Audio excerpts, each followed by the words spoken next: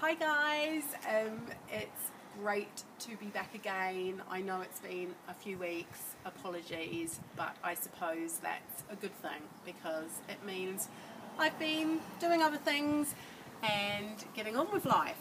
Just really wanted to um, take this opportunity to show you.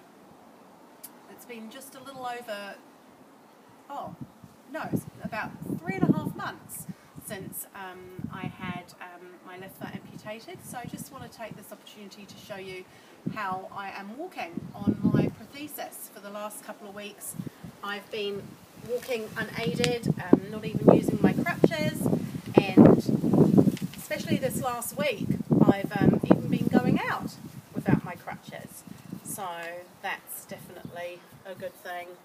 Um, still great to lean on the trolley, going around the supermarket and those sorts of things. But but yeah, um, yeah, it's been going really really well. So just show you. Had to learn. Do still find that I need to that I need to concentrate a little bit walking heel to toe because it's not something that um, that I've ever done on especially on this um, left foot being the way that it was. So yeah, the, my prosthesis is feeling is feeling very um, very comfortable and um, just trip over in front of everybody. My prosthesis is feeling um, very comfortable, which is great. Um, I've only had to have one adjustment in the last month, and that was a little bit of pain I was getting in the in the bottom area here, um, which was the bone um, touching.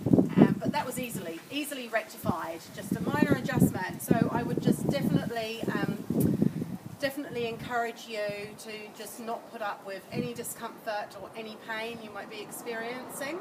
Just to um, yeah, just to get it sorted, so then you can um, yeah get on with what you need to be getting on to do. So um, I think I'll just say bye for now, and um, I will um, be back shortly.